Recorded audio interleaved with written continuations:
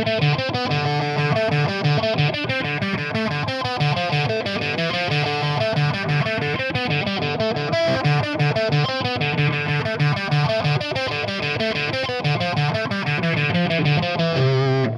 day 14, we've got In the Presence of Enemies Part 1. This one's by Dream Theater, one of my favorite bands, and one of the reasons I got into guitar. It's another one string riff, and it starts off with a phaser sound and comes back later in the song with a delay and palm muted a good riff to experiment with different sounds.